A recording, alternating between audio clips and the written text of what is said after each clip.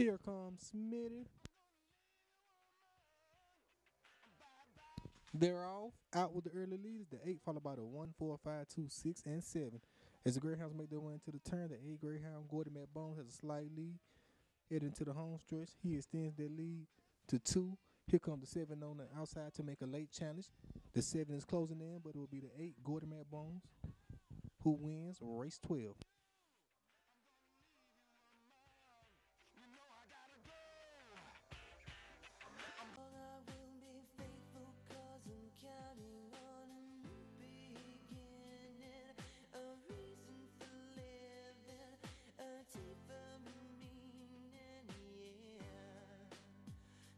There you have it, ladies and gentlemen. Race 12 is now official. Your order of finish 8 7 2 5.